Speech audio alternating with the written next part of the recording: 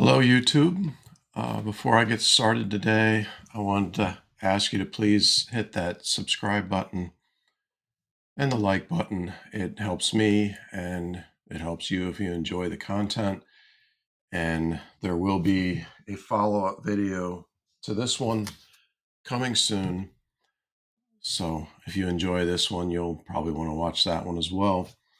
Uh, this is another new boot day. This is a pair of Wescos. I ordered these. Well, these are a rebuild. So I sent I sent these into Wesco um, like 11 months ago. What, 40, 47 weeks, something like that. At the time, a rebuild was supposed to take 12 weeks. I think now I've seen that it takes 15 weeks. I did not I did not get an email or anything telling me that it had gone to 15 weeks. But I did see I think that it did.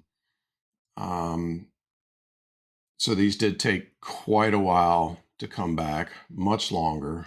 There is a bit of a story that's going to go with that later. But these are a harness rebuild,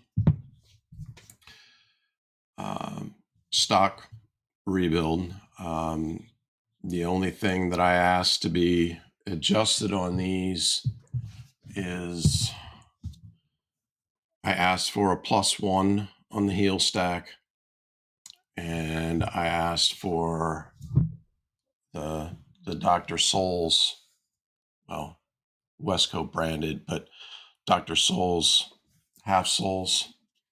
So I do like that. That looks really cool. It's this has been my my favorite sole now, and I really like that little look on the waist there.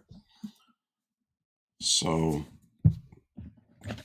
let's see the inserts that they always send.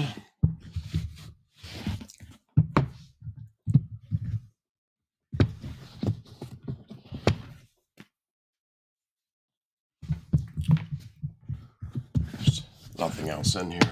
Not that I would expect there to be. Of course, there's no laces for a boot like this. So this is, you know, like I said, this is just a unboxing video.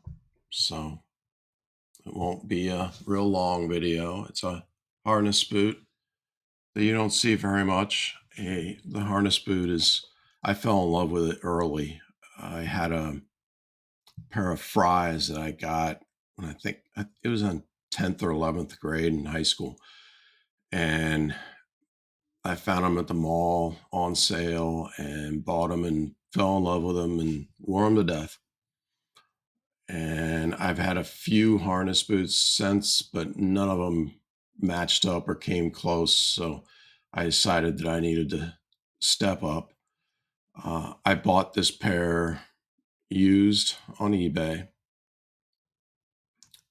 because the price was super cheap, because the uppers were in fantastic shape, and because I could send them in for a rebuild right away and avoid the two year wait uh, because it was a 12 week wait for a rebuild. So I was kind of getting around the system and still getting a virtually brand new boot for, for less than it would have been new.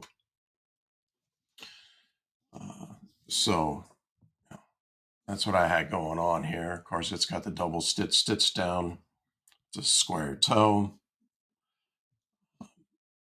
It looks really nice. Uh, I'm very, well, I can't say I'm very impressed because I did have high expectations for the building of the boot. I asked for beeswax on the edges.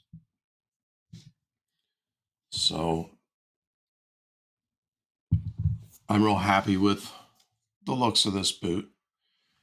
Uh, what's going to be coming later is after I try them on and wear them a little bit, I'm going to be doing a follow up video on how they fit because that's the potential issue that I have with Wesco right now. They, um, I had sent, I had sent this pair in. Um, they didn't fit right. I had, oh, see, look at that. I didn't measure that. It looked okay, but now that I'm looking at it, is that, yeah. So that's screw up, I guess, number one. I had asked for a higher heel, like my engineers were. It's not. They kept the heel where it was.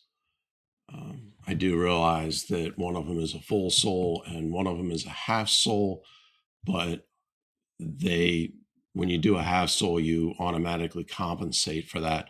So they should have done a plus one because it was a half sole because you didn't have the piece of rubber in the middle there. And they should have done a plus one on top of that because it was my request because I wanted taller heel stack. I do have a high arch.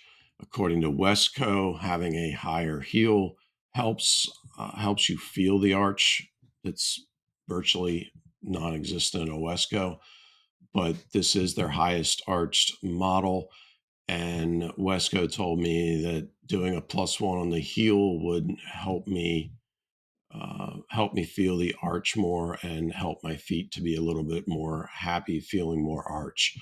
So, like I said, this is supposed to be a plus one, and it is not. So, strike one. Uh, but anyway, this pair here, they had never fit me right. They offered to send them back, uh, take them back and rebuild them you know, I'm getting into a story that's for the next video. Uh, long story short, these don't fit right, even though they went back another time and they say they rebuilt them. And I'm convinced that that is a lie. But again, next video. So yeah, this is supposed to be a plus one. It is not. Um, the uppers I already knew the condition of, and they're in great condition. Uh, everything about the stitching on these looks real good. They they did take care of the the, the edges, which look good. So uh, I didn't get the custom fit out of these. I was supposed to. Um, they ended up giving me more of a stock size. They it's going to be a this is a nine and a half E with a bumped out toe is what it's supposed to be. So it's supposed to be bumped out a little bit this way and bumped up a little bit this way. And by doing that, it effectively uh, makes them about a half size larger while keeping the uh, the ankle area a little bit tighter to hold my foot better. So we will see how it fits. They got a whole, they they received a whole lot of details from me, and it's just a matter of what they did with that information and what they actually did for me. So, like I said, I will be trying these on, uh, breaking them in a little bit.